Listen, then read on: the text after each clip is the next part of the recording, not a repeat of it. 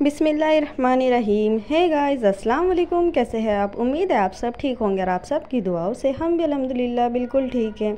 And welcome to the Ayesha vlog तो अभी है सुबह का वक्त मतलब नाश्ता वगैरह हो गया हम लोग का और आज है ना, मैं बारीक मेथी बना रही इसकी रेसिपी मैं आपके साथ शेयर नहीं करूँगी क्योंकि इससे पहले मैंने जो व्लॉग बनाई थी मतलब काफ़ी टाइम हो गया तो वो व्लॉग में मैंने ना पूरी रेसिपी शेयर करी। तो अगर आपको चाहिए तो आप चेकआउट कर सकते हैं, मैं लिंक डिस्क्रिप्शन में दे दूँगी। और आज मैं दूसरी रेसिपी आपके साथ में शेयर करने वाली हूँ, चटकारा बूटी की। तो प्लीज़ ब्लॉग को पूरा देखो और ब्लॉग अगर अच्छा लगा तो do like share and subscribe to my channel और चलो, अभी है ना, हम लोग बनाते हैं, ये बारीक मेथी। एंड देन उसके बाद में मैं आपके साथ में एक वो रेसिपी शेयर करूँगी, चटकारा बोटी की। तो पहले मैं ये कुक कर लेती क्योंकि नॉन वेज के साथ में मुझे हमेशा एक वेज चीज़ चलती ही है तो फिक्स मैं हमेशा बनाती हूँ। हाँ कभी कभी हो जाता कि नहीं भी बनाती, पर मोस्टली एक वेज आइटम लगता ही है खाने में। तो इसलिए मैं आज ये भाजी बना रही और ये भाजी बहुत अच्छी लगती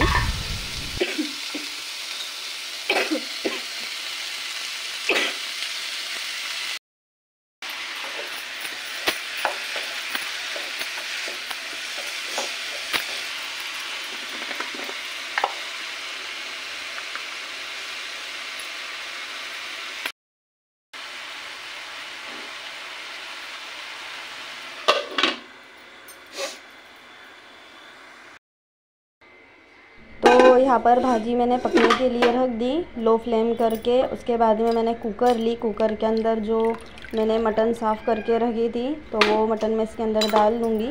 और इसको मैंने ना थोड़ी देर के लिए जो वेनेगर वाटर रहता, उसके अंदर उसको डिप करके रखी थी, क्योंकि जो भी हमारा कुर्बानी का गोश्त जो निकलता ना तो उसके अंदर थोड़ी सी हल्की सी एक स्मेल आती तो स्मेल ना आए पकाने के बाद में तो मैंने उसको अच्छे से साफ़ कर ली और आप भी चेक कर लिया करो मतलब जो उसमें बाल वाल लगे रहते हैं तो वो अच्छे से क्लीन होने चाहिए। तो फिर मैंने वो पूरे अच्छे से साफ़ करके उसको मतलब दस पंद्रह मिनट ऐसे डिप करके रख दी थी। उसके बाद में मैंने उसको प्रेशर लगाई और वो बहुत जल्दी गल जाता, आप सबको भी पता है। तो बकरे का गोश्त है, इसलिए वो दो तीन वेसल के अंदर अल्हम्दुलिल्लाह अच्छे से गल जाता। और उसके अंदर मैंने एक प्याज डाली थी थोड़ा सा अदरक, लहसुन हल्दी पाउडर और नमक, ये सब डाल के मैंने उसको कुकर को चढ़ा दी और यहाँ पर फिर मैंने एक बर्तन ली। उसमें कुछ मैंने पाउडर मसाले डाली, जैसा हल्दी, लाल मिर्च, गरम मसाला चिल्ली फ्लेक्स अदरक, लहसुन का पेस्ट और नमक अकॉर्डिंग टू आवर टेस्ट और धनिया पाउडर और तीन से चार चम्मच कॉर्नफ्लोर पाउडर वो डालेंगे हम और चिकन मसाला या मटन मसाला जो भी अवेलेबल है, वो डाल दो मेरे पास है। ना चिकन मसाला अवेलेबल था तो मैंने वो उसके अंदर ऐड कर दी एक बड़ा चम्मच भर के। और इसको अच्छे से मिक्स करेंगे। एक लेमन का जूस भी ऐड करेंगे हम इसके अंदर और फिर इसके बाद में हम अच्छे से इसको मिक्स कर लेंगे और फिर उसके बाद में डालेंगे थोड़ा सा पानी और उसका मतलब अच्छा पेस्ट बना लेंगे।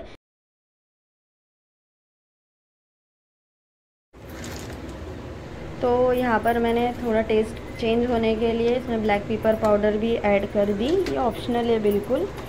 अगर आपको डालना है तो आप डाल सकते हैं। तो इसको भी हम अच्छे से मिक्स कर लेंगे। इसके बाद मैं डालूँगी इसमें पानी।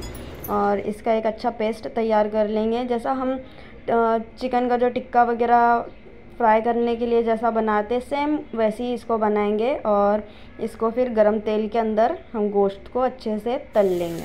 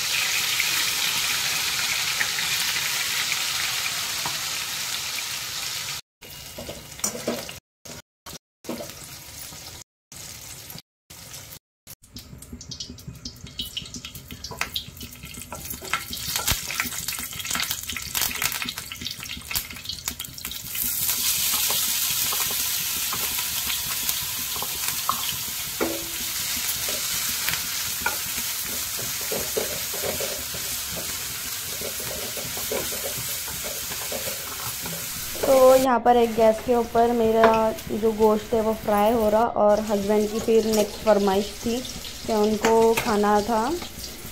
मतलब जो गोश्त है उसको एकदम सूखा बना के खाना था। तो फिर मैंने बॉईल तो वैसे कर ली थी तो फिर मैंने हाफ़ का उनको फ्राई करके दी और हाफ़ जो है तो उनके लिए मैं ऐसे सूखा बना के दे रही। तो तो चॉपर के अंदर मैंने एक प्याज, चार से पाँच हरी मिर्च और थोड़ा सा लहसुन, इसको अच्छे से चॉप कर ली थी, फिर तेल के अंदर थोड़ा कड़ी पत्ता डालकर, फिर ये सब डाल दी उसके अंदर, और उसके अंदर कुछ पाउडर मसाले डाली, और जो उबला हुआ गोश्त था, मसाला पकने के बाद में हमने वो उसके अंदर ऐड कर दिए, और फिर उसको मैं अच्छे से हिला लूँगी, और थोड़ी सी धनिया की पत्ती ऊपर से स्प्रिंकल कर दूँगी तो उनका जो सुक्का वाला जो गोश्त है, वो भी रेडी हो जाएगा। तो चलो अभी देखते हैं कि हमारी बोटी फ्राई हुई या नहीं। And please ignore my mehndi, क्योंकि अभी जब मेहंदी लगाते तभी अच्छी लगती जब वो निकलती ना तो बहुत डेंजर लगती हाथ पे। सो प्लीज़ इग्नोर गाइज़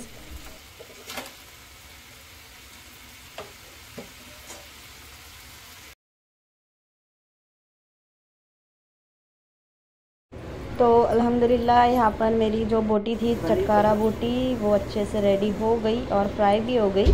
आप देख सकते कितना सॉफ्ट है ये वाला गोश्त और हम लोग फिर उसके बाद में खाना खाने बैठ गए।